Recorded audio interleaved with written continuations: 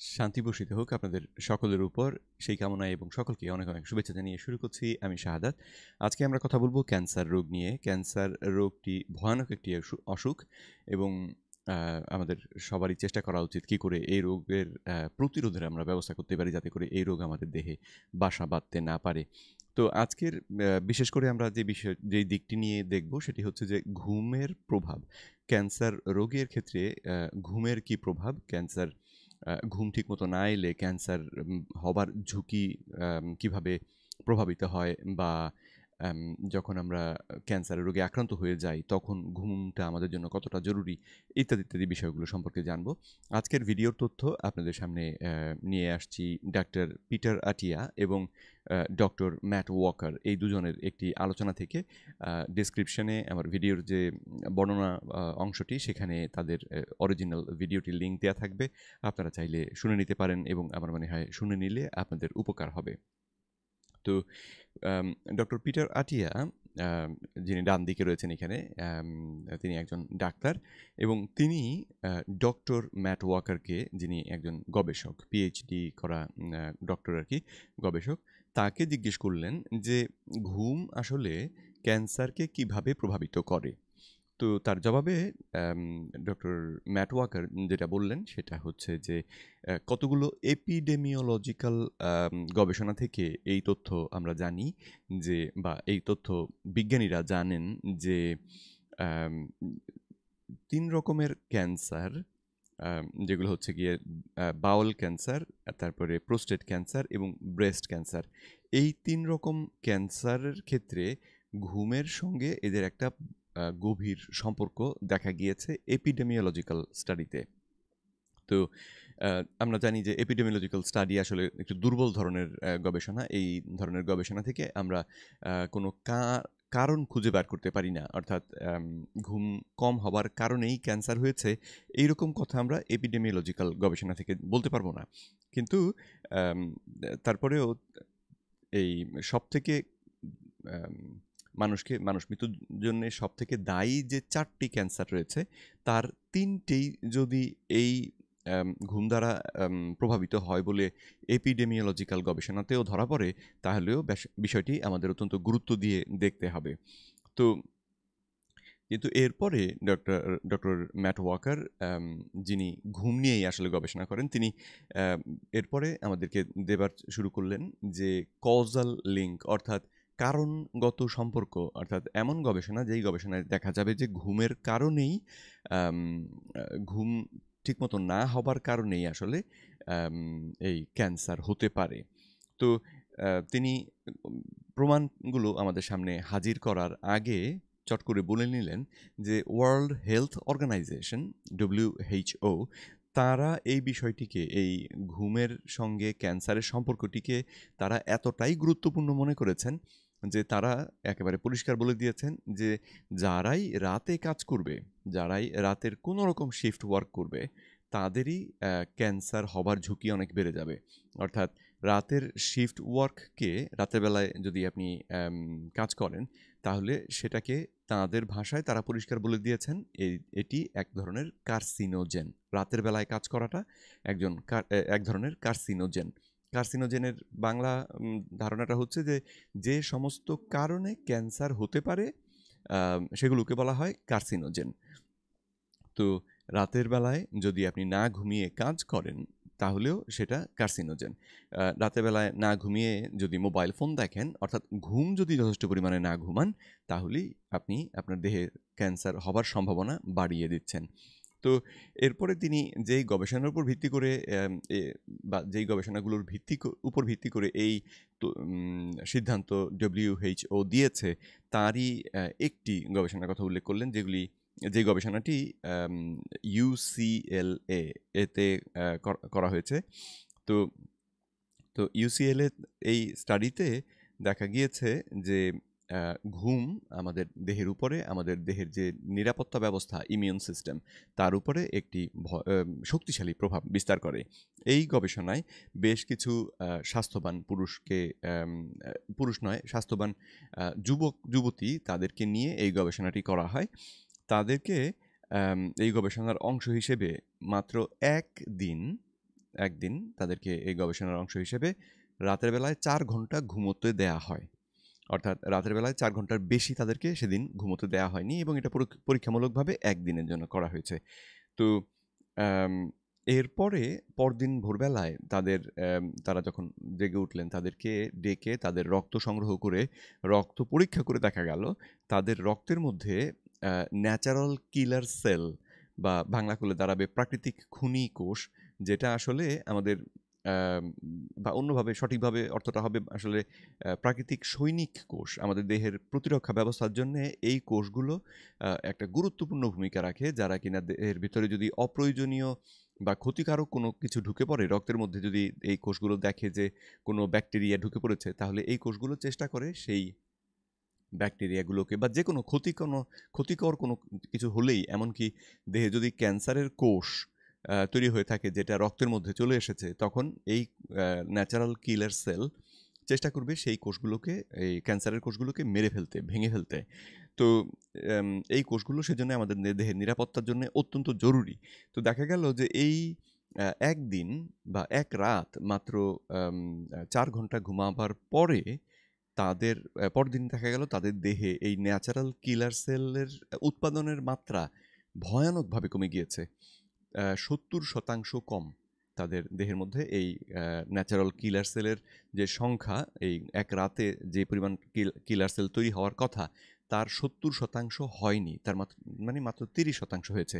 তো উদাহরণটা চিন্তা করে দেখুন যে, কোনো একটি দেশের সেনাবাহিনীকে আপনি যদি সত্তর শতাংশকে যদি সরিয়ে দেন, মাত্র তিরিশ শতাংশ লোকজন যদি সৈনিক যদি থাকে সেনাবাহিনীতে, তাহলে সেই সেনাবাহিনী আগের তুলনায় অনেক বেশি দুর্বল হয়ে যাবে এবং এই অবস্থায় যদি দেহের মধ্যে ক্যান্সার আক্রান্ত হবার সুযোগ তৈরি হয় বা দেহের মধ্যে ক্যান্সার কোষ তৈরি হয়, তাহলে সেই কোষগুলোর বিরুদ্ধে আমাদের যে প্রতিরক্ষা ব্যবস্থা, সেটা যথেষ্ট ভালো বা যথেষ্ট পরিমাণ কার্যকরী ভূমিকা রাখতে পারবে না।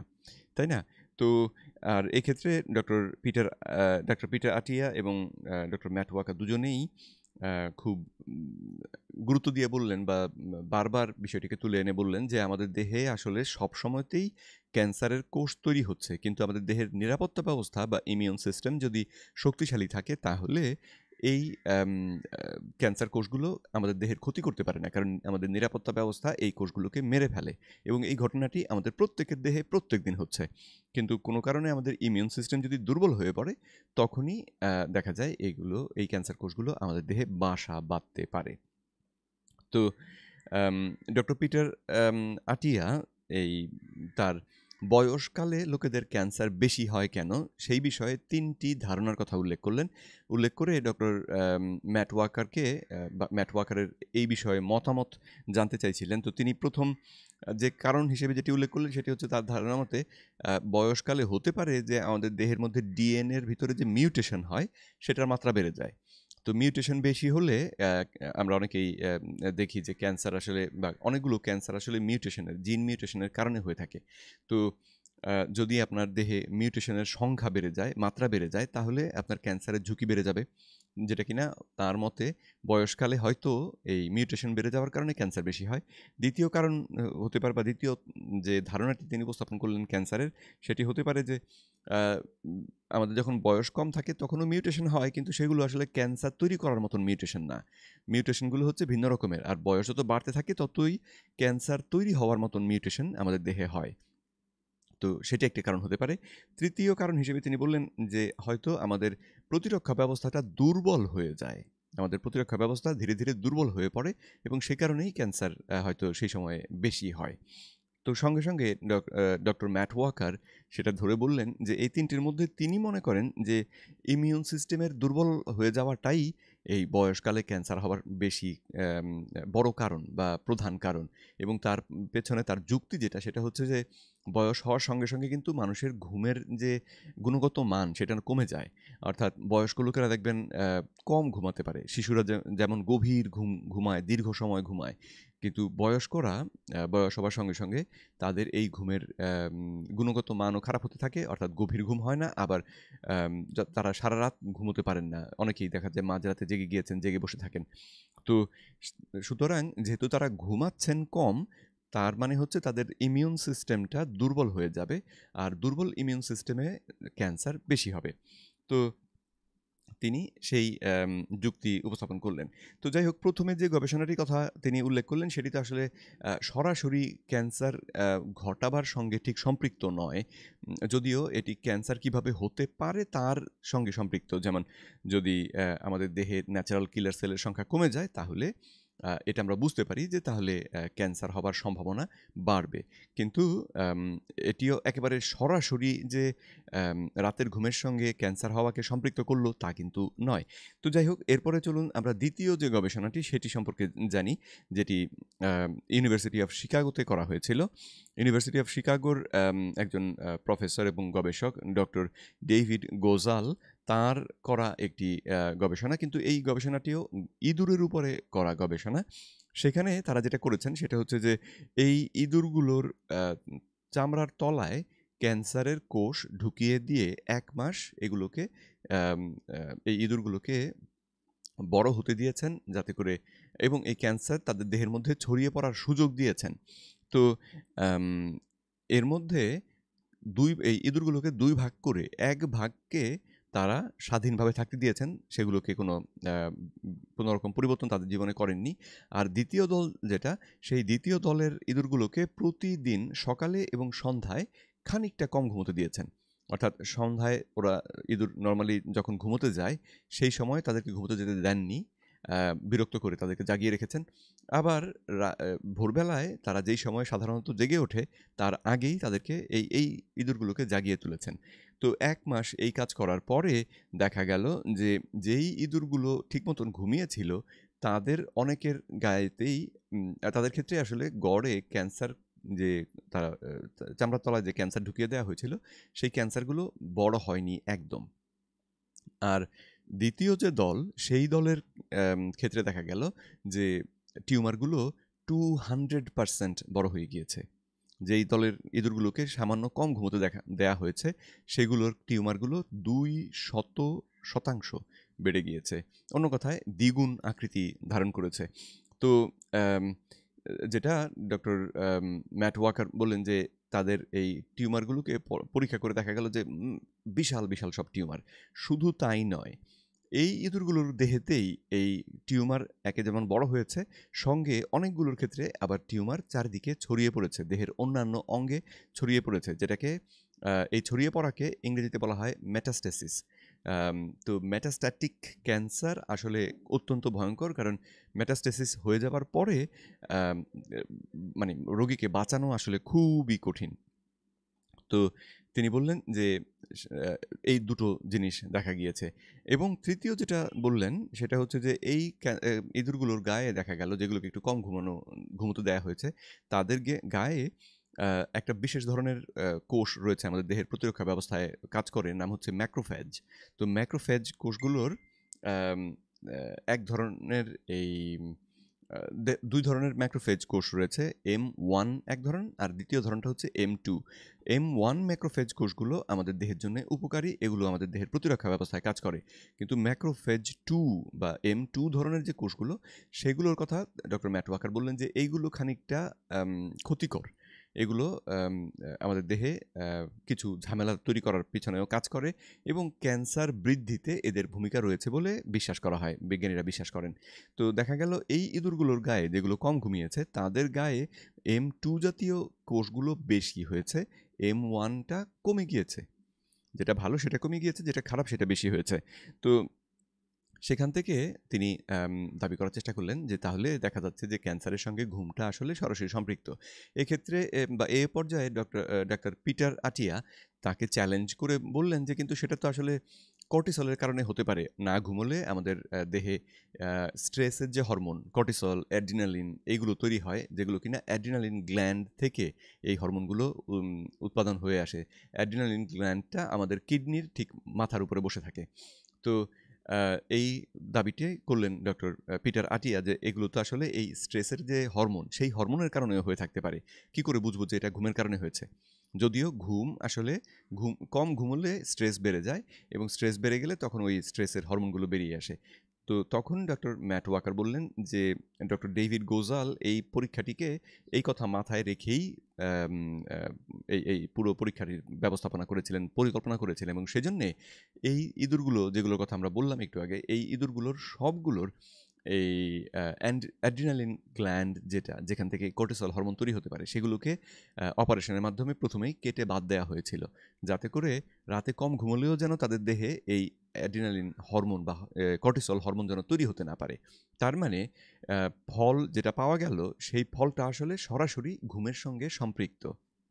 তো অবশ্যই এই কথা আমরা, যেহেতু গবেষণাটি ইঁদুরের উপরে করা, এখান থেকে আমরা নিশ্চিত করে বলতে পারি না যে মানুষের ক্ষেত্রেও ঠিক একই রকম ঘটনা ঘটবে। তবে মানুষের ক্ষেত্রে নৈতিক কারণে এরকম গবেষণা করা সম্ভব নয়। আর ইঁদুরের উপরে করা গবেষণাগুলোর তথ্য অধিকাংশ ক্ষেত্রেই মানুষের ক্ষেত্রেও প্রযোজ্য হয়। তার উপরে ভিত্তি করে আমরা ধারণা করতে পারি যে মানুষের ক্ষেত্রেও হয়তো একই রকম প্রভাব পড়বে এবং সঙ্গে এপিডেমিওলজিক্যাল যে গবেষণা সেখানেও দেখা যাচ্ছে যে যারা এই সব থেকে খুনি তিন ধরনের ক্যান্সারে আক্রান্ত হচ্ছেন, তাদের অধিকাংশই বলেন যে তারা রাতে ঠিক মতন ঘুমোতেন না। তাহলে এখান থেকে আমরা মোটামুটি নির্ভরযোগ্য একটি সম্পর্ক খুঁজে পাই। তো এই অবস্থায় তারা দুজনেই অত্যন্ত হতাশা প্রকাশ করে বলেন যে আমাদের প্রচলিত যে অঙ্কোলজি ট্রিটমেন্ট অর্থাৎ ক্যান্সারের চিকিৎসার প্রচলিত যে ব্যবস্থা, সেই ব্যবস্থায় কিমোথেরাপি দেওয়া হয় রোগীকে। আর কিমোথেরাপি দিলে, যেহেতু কিমোথেরাপি আসলে এক ধরনের বিষ আসলে শরীরের মধ্যে দিয়ে দেওয়া হয়, তো এর প্রভাবে দেখা যায় রোগীদের ঘুম আসলে আরও খারাপ হয়ে যায়। তারা ঘুমোতে পারেন না।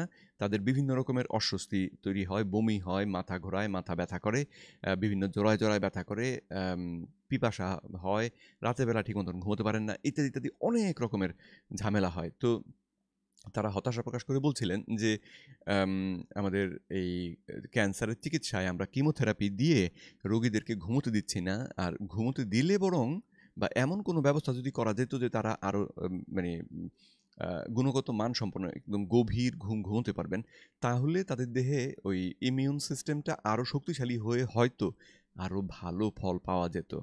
অথচ এই বিষয়টিতে আমাদের প্রচলিত যে ক্যান্সার চিকিৎসা জগৎ, সেই জগৎ এই ঘুমের গুরুত্বটিকে গুরুত্ব দিয়ে দেখছে না। তারা কিমোথেরাপি দিয়ে রোগীকে চিকিৎসা করার চেষ্টা করছে এবং যার ফলাফল আমরা অনেকেই জানি যে, অধিকাংশ ক্ষেত্রেই কাজ হয় না।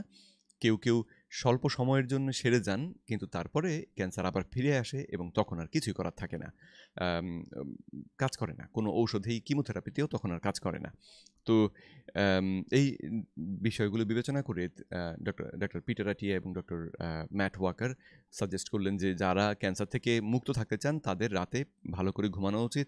যারা ক্যান্সার থেকে ক্যান্সার আক্রান্ত হয়ে গিয়েছেন এবং সেখান থেকে সুস্থ হয়ে উঠতে চান, তাদেরও রাতে ঘুমোতে হবে। এখন আমার পরিচিত আমার আত্মীয় একজনকে যখন ঘুমানোর কথা বললাম, সঙ্গে সঙ্গে তিনি বললেন, আমি তো ঘুমোতে পারি না। আমি তো বহুদিন থেকে চেষ্টা করছি, কিন্তু কিছুতেই ঘুম হয় না। তো এক্ষেত্রে ডক্টর এন্ড্রু হিউবারম্যান তিনি ঘুম সম্পর্কে যে ভিডিও করেছিলেন, তার থেকে আমার দু, তিনটে জিনিস মনে আছে।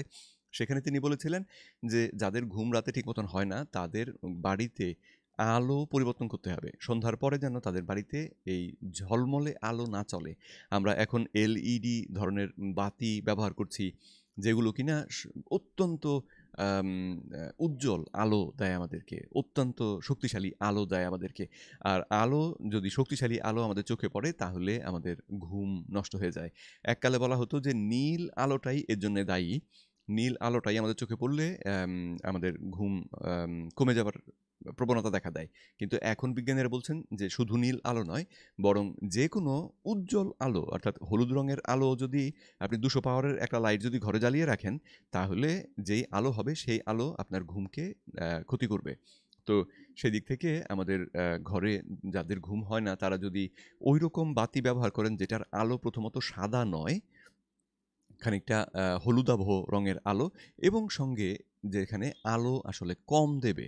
অর্থাৎ খুব শক্তিশালী বাতি ব্যবহার করার পরিবর্তে কম ওয়াটের, কম শক্তির বাতি যদি ব্যবহার করেন তাহলে আপনাদের ঘুমের সমস্যা খানিকটা কাটবে।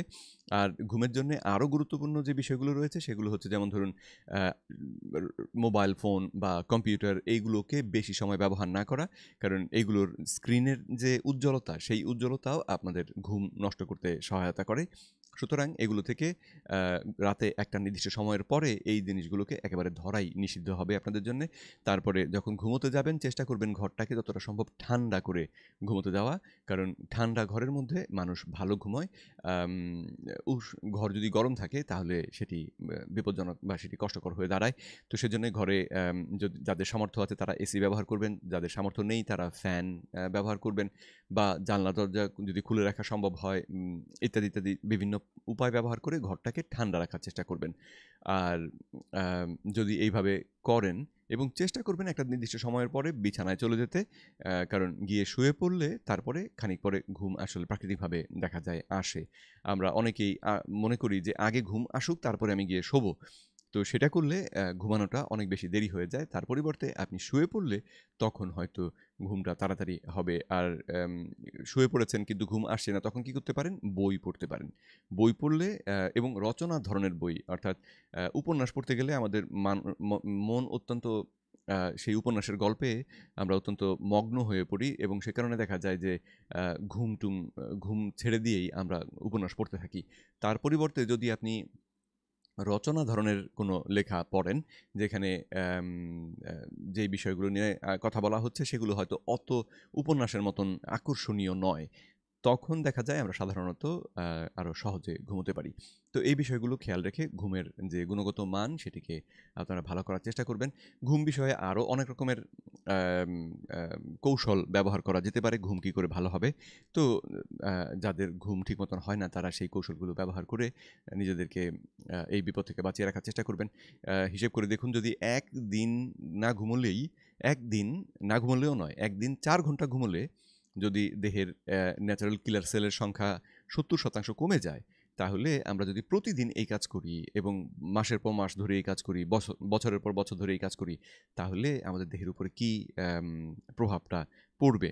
আর এদিকে সামান্য একটু কম ঘুমানোর কারণেই যদি ইঁদুরের দেহে ক্যান্সার আসলে সাংঘাতিক রকমভাবে বড় হয়ে যায় এবং ছড়িয়ে পড়ে, তাহলে যারা আমরা ক্যান্সার রোগে আক্রান্ত, তারা যদি সঠিকভাবে না ঘুমাই আমাদের দেহে ক্যান্সার কি হচ্ছে? কীভাবে বড় হচ্ছে? আশা করি বুঝতে পারছেন যে সেটি মোটেও আমাদের জন্য ভালো ফল বয়ে আনছে না। তো যাই হোক, আশা করছি এর থেকে আপনারা এই ক্যান্সার বিষয়ে খানিকটা ক্যান্সার এবং ঘুমের যে সম্পর্ক সেই বিষয়ে খানিকটা ধারণা আপনাদের পরিষ্কার হয়ে থাকবে। আর পরবর্তী ভিডিওতে আপনাদের সঙ্গে আবার দেখা হবে সেই আশা রেখে। আজকে এইখানেই বিদায় নিচ্ছি। সকলে সুস্থ থাকুন, সুন্দর থাকুন। পরবর্তীতে আবার দেখা হবে। আল্লাহ হাফেজ। বিদায়।